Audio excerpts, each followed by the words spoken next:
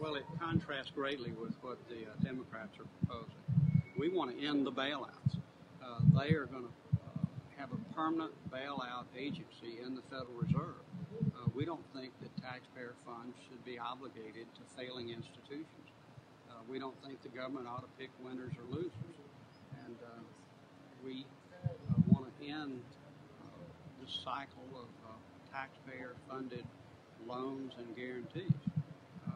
You know, taxpayers have their own trouble without asking them to bail out some of the largest uh, financial institutions in this country for risky behavior.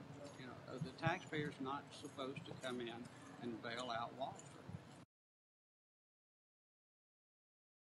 Uh, from the Republican standpoint, what we do is we uh, let the existing agencies uh, do their job. We make them do their job, and we incorporate them under one umbrella so that uh, you can't shop uh, for the least restrictive uh, uh, regulatory environment.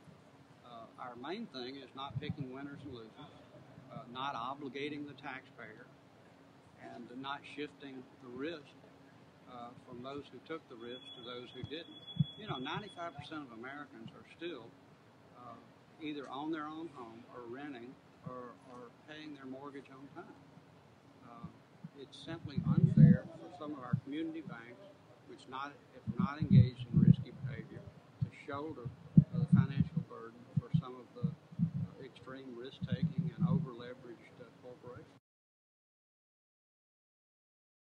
Well, uh, the Federal Reserve and the Democratic administration don't want it both ways. They say the Federal Reserve needs to be totally independent, without any more accountability, without any more transparency.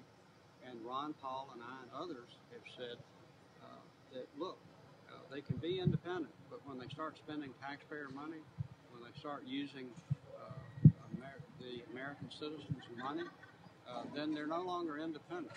Uh, we're not going to fund them and allow them to do whatever they choose to do. We're going to ask them to be transparent and to have accountability. And uh, we also really want to prohibit them from continuing to bail out uh, failed institutions who got themselves in trouble.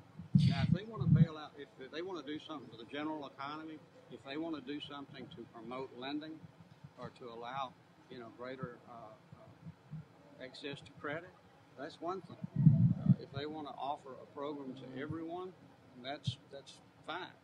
But uh, let's not have these ad hoc bailouts, and let's not have this star chamber type of agency that is answerable to no one. Will offer it as an alternative, and it is a clear alternative. Uh, and it, as I said, it, it stands most uh, uh, uh, in most stark contrast to the Democratic plan in that we uh, we do not want to empower the Federal Reserve or the Treasury or anyone else with greater powers to obligate taxpayer money to failing institutions. Well, I think it uh, is first of all, if you want to stimulate the economy, uh, cut uh, the taxes, the tax burden on individual Americans. You know, cut the payroll tax or give all taxpayers a tax credit instead of uh, stimulating government growth. That's what the last stimulus did. It stimulated government. It was it built more government buildings. It's an expansion of government. Uh, and uh, you know, to me, if you're going to do something to stimulate the economy, do it for everyone. Those who acted responsible, uh, responsibly, as well as those who maybe got themselves in trouble.